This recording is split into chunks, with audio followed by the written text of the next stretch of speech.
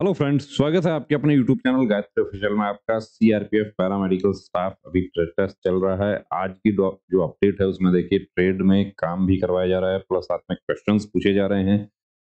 तो किस तरह के क्वेश्चंस पूछे जा रहे हैं कि अब एक कैंडिडेट ने हमें अपडेट दिया कि उसको पूछा गया क्या उसके साथ में भी आगे पीछे वाले कैंडिडेट्स को भी पूछा गया कि मरीज़ को खिचड़ी खाने की सलाह क्यों देते हैं?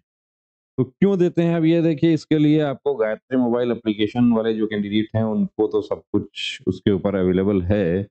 यहाँ आपको बता दूँ कि खिचड़ी क्यों सलाह दी जाती है? तो खिचड़ी पेट की बीमारियाँ उल्टी दस्त होने पर डॉक्टर ज़्यादातर खिचड़ी खाने की सलाह देते हैं। कारण क्या है उसका कि इसके दौरान पाचन तंत्र कमज़ोर हो जाता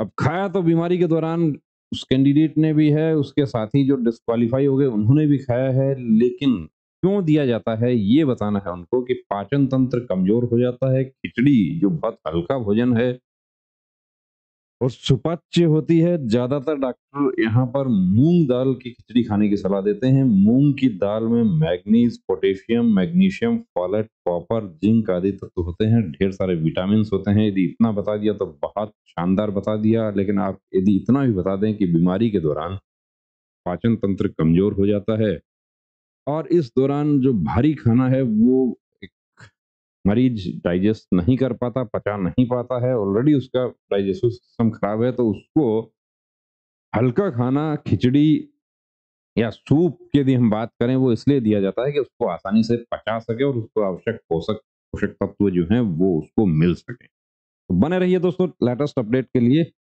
जय है